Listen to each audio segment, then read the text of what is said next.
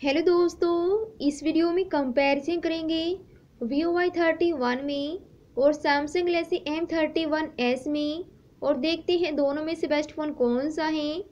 तो बात की जाए डिस्प्ले से वीओ की है six point fifty eight inch की रेजोल्यूशन है एक हज़ार अस्सी मल्टीपल चौबीस पिक्सल और इसमें आई पी एस का यूज़ किया गया है और सैमसंग की जो डिस्प्ले है, वो है सिक्स पॉइंट फाइव इंच की। रेजोल्यूशन है एक हज़ार अस्सी मंडी पर चौबीस पिक्सल और इसमें सुपर एमरो डिस्प्ले का यूज़ किया गया है और डिस्प्ले के मामले में सैमसंग आगे है। बात की जाए प्रोसेसर की वीओ का है स्नैपड्रैगन का छः सौ बैसठ का सी पी यू है टू पिन जी के हार्ट ओक्टे कोर का और इसमें इलेवन नैनोमीटर्स का पिन पैड और इसका जी पी यू है छः सौ दस का। और सैमसंग का जो प्रोसेसर एक्सनोस का है nine six one C P U है टू पिन थ्री की हार्ट ओक्टे कोर का और इसमें टेन एनएमीटर्स का पिन फैट, और इसका जी पी यू है जी बेहतर है एम पी थ्री का।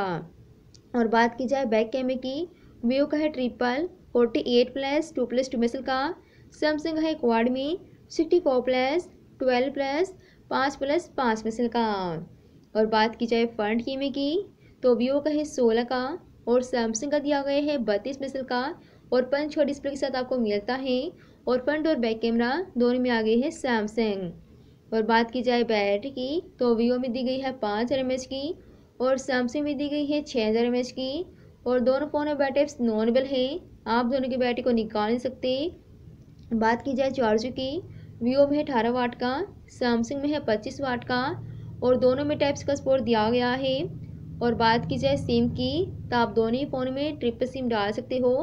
और दोनों ही फ़ोन में आपको साइड माउंट में फिंगरप्रिंट सेंसर दिया गया है और फेस लुक भी आपको दोनों फ़ोनों में मिल जाता है। और बात की जाए रैम की वीओ में है छः एच की सैमसंग में छः एच बी आठ की और बात की जाए मेमोरी की, दोनों में सिम अठाईस की दी गई है।